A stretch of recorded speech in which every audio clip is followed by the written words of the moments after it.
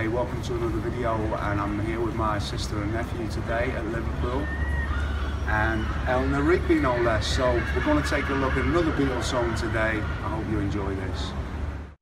Okay, so let's take a look at Eleanor Rigby. Now, I shouldn't really have to sing this one for you. I think it's universally known, pretty much. Although I dare say I will touch on some of it just to give you kind of idea. Now, the song is very simple in essence, but like I often say, you know, you can take it much further than, you know, the basics of it, but it's always a good idea to start with the basics and then take it on from there. And indeed, that's what I've been doing lately. It's not a tune I've typically played, and I'm kind of working on an arrangement of my own at the moment, a finger picked version. So, this kind of illustrates that you know, although it's a simple song, you can actually take it somewhere and make it really quite something. Okay, so without further ado, the chords in the song are just simply a C major. Now, whereas your standard C just starts from the fifth, yeah? We, we add that G in the bass, which is the sixth string, third fret. Okay? So you've got that chord, a C. Then you have an E minor. And you know that is the bulk of it. E minor and C. And C in that form.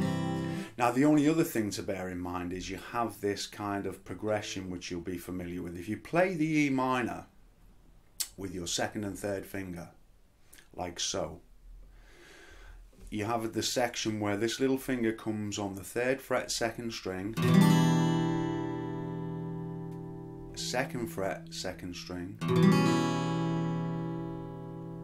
first fret, second string, and just an open E minor.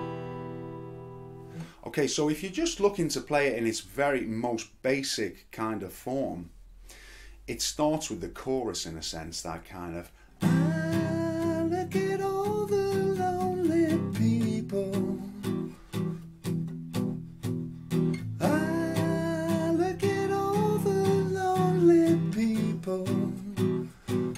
So it's all downstrokes and it just starts in C. Now you can just play single like that when you're starting out. This kind of idea.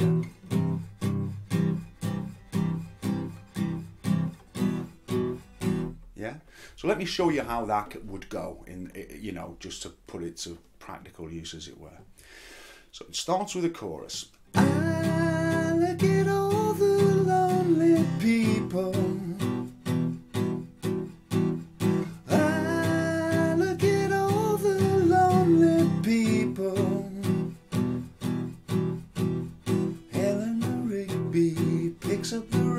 Rice in a church where a wedding has been. Lives in a dream, waits at the window,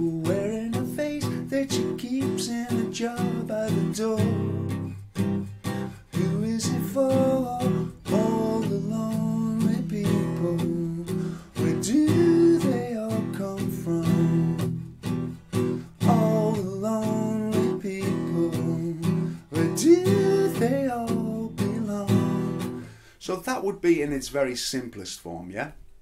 Now, you can probably spice it up by kind of doubling on the on that strumming pattern. Okay, so rather than this kind of feel, you could play more of a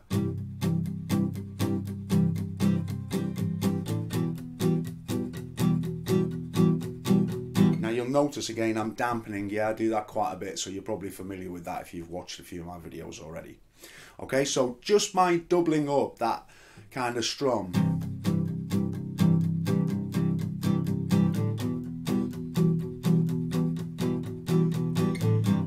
So once you've got that first one sorted, just the straight,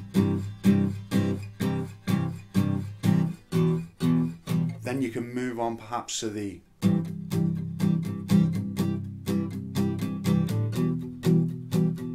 yeah, so it would be.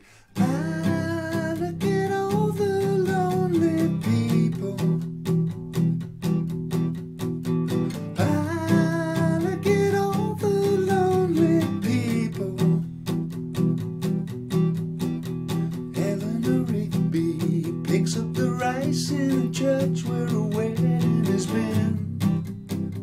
Lives in a dream, waits at the window.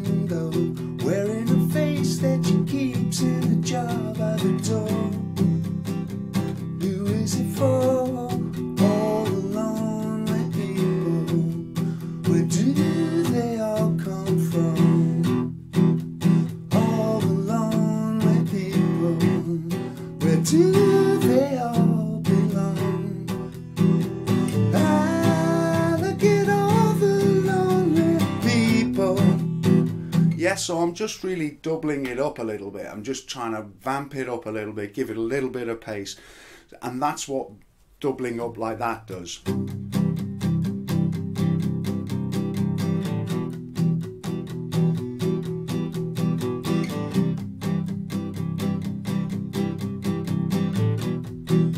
Yeah?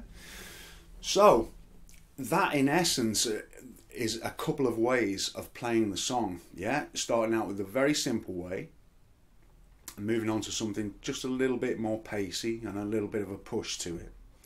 So, as I say, the things to re- to remember perhaps are that it starts with a chorus, C, Look at all the lonely people.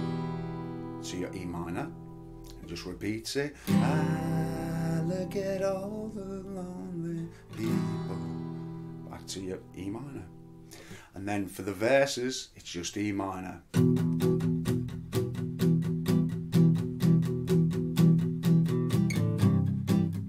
try and hear the changes.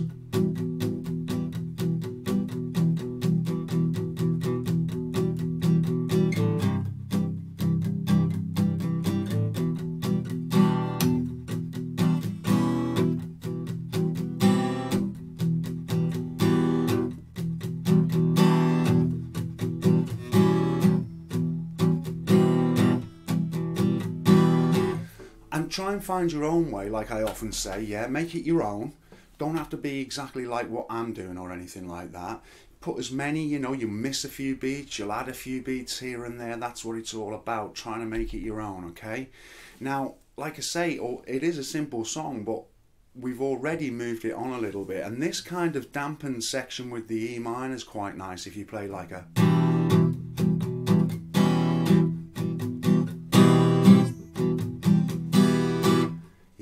So we're letting that first beat ring out if you hear.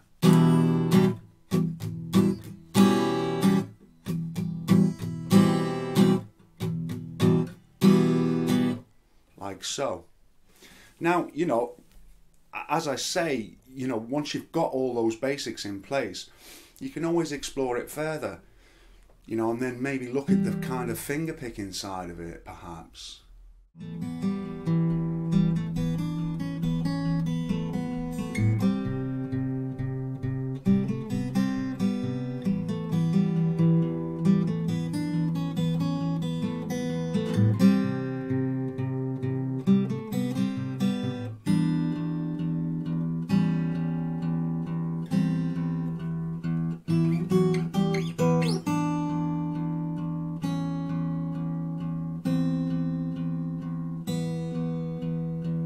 So, as you can see, you can kind of make a whole lot more of the song should you wish to.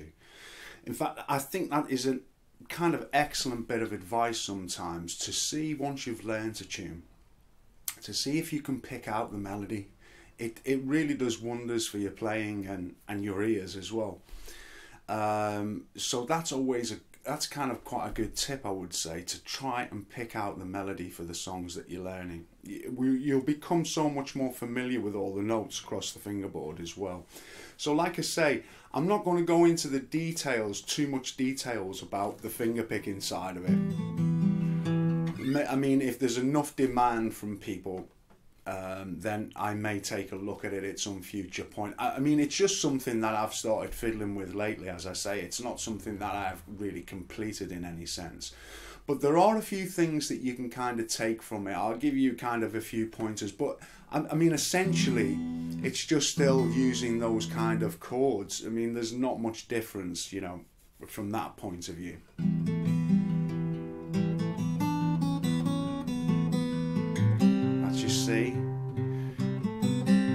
Back to E minor.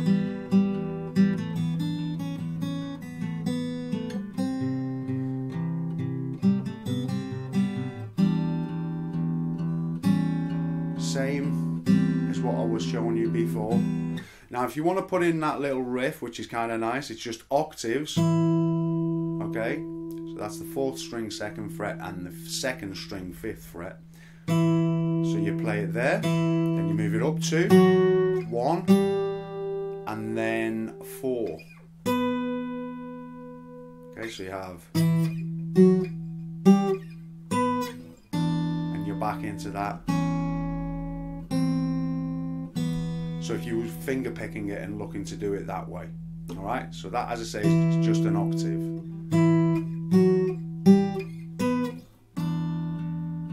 To play it slowly.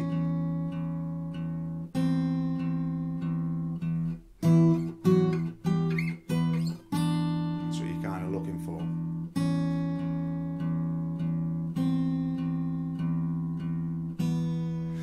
And the bass is just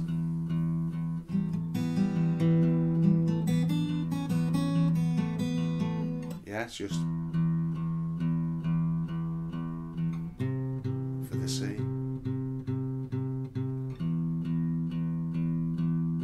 just as a guide, yeah, as I say, I won't go into the whole detail. If there's enough requests for a finger-picked version, then I'll come back and take a look at it, okay? I'm just trying to give you a little bit of sugar here to kind of, once you've played the basics of it, you can put some of these little things in. Uh, another section is is where it's um, I look at all the lonely people. now you can play. That's kind of quite a nice little lick, perhaps to just put in to make it, you know, a little bit more to it. So you got C, I look at all the lonely people,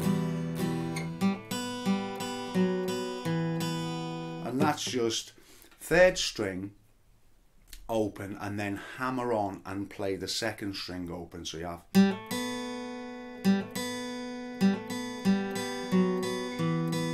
And it's just second string open for all those other notes. So you have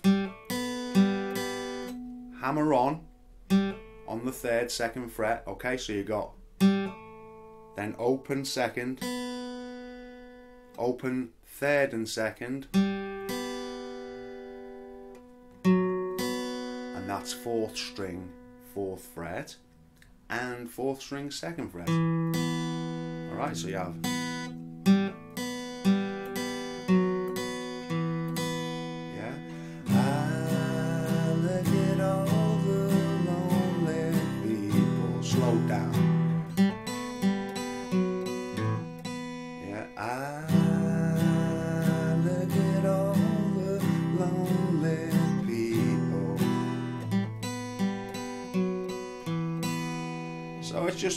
To add a little bit of interest, if you like, you know, should you want to kind of do something with that. Now, I won't go into too much detail about all these extra riffs and everything like that. Just see how you get on with the basics of it. And I hope it's been of some help to you. And uh, I, I always appreciate feedback on these videos. And should you wish to share any of these on your social media or anything like that, please feel free to do so. So thanks for joining me, and I look forward to seeing you soon next time.